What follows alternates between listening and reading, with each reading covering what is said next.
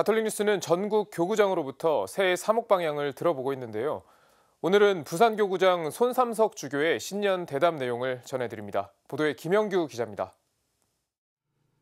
부산 교구는 올해를 사랑의 해로 지내고 있습니다. 앞서 2018년은 믿음의 해로, 2019년은 희망의 해로 보냈습니다. 부산 교구장 손삼석 주교는 믿음의 해에는 하느님 은총을 확신했고 희망의 해에는 하느님을 향해 걸어가야 함을 새삼 깨달았다고 말했습니다. 그리고 올해 사랑의 해는 3년 여정을 마무리하는 의미가 있다고 밝혔습니다. 우리가 2018년부터 올해 2020년까지 네. 신망의 아, 네. 를 통한 본당 공동체 영적 세신회로 잡았습니다. 네. 그 올해가 사랑의 네, 네. 이제 마지막인데 그래 가장 그 중요한 우리가 신망의 마무리를 이제 사랑으로 하지 않습니까? 네. 부산교구는 사목 지침을 통해 실천 사항도 제시했습니다.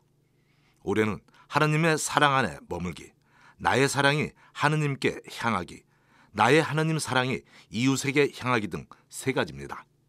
손주교는 사랑의 해를 보낸 뒤 곧바로 청소년 해 선포를 계획하고 있습니다.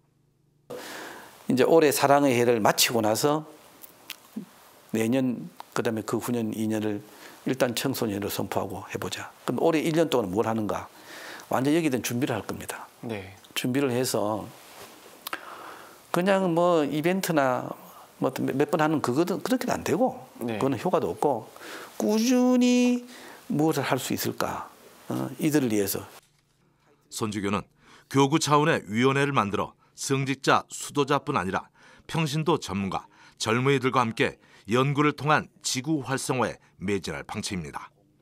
손주교는 국제화 시대에 발맞춰 다양한 사목적 접근의 필요성도 강조했습니다. 부산교구는 현재 영어와 베트남어, 동티모르, 인도네시아어로 많게는 매주, 적게는 한 달에 한두 번씩 미사를 봉헌하고 있습니다. 부산교구는 한 발 더 나아가 베트남어 전문 사제 양성에도 힘을 쏟고 있습니다.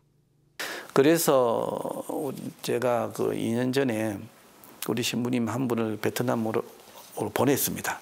아예 베트남어를 배워와 가지고 미사도 복원하고 고백 성사도 주고 좀 상담도 할 수 있는 정도가 돼야 되겠다 해가 지금 공부를 하고 있어요. 손지교는 고령화와 냉담 교우 문제에도 관심을 기울이고 있습니다. 특히 냉담 교우 문제 해결을 위해 노력과 정성이 수반돼야 한다는 생각입니다. 손주교는 올해 사랑의 해를 지내면서 힘들어하는 이들을 위한 기도를 당부합니다. 주님께서 내려주신 또 우리에게 주신 그 사랑을 어려운 사람에게 전하는 해가 됐으면 좋겠다고 소망했습니다. 어렵지만은 우리는 늘 희망으로 살아갑니다. 여러분 모두 기쁨과 희망으로 이 한 해 잘 지내시고 올해 말에는 더욱더 우리가 주님을 높이 찬미 찬송하는 그런 한 해가 되었으면 좋겠습니다. CPBC 김영규입니다.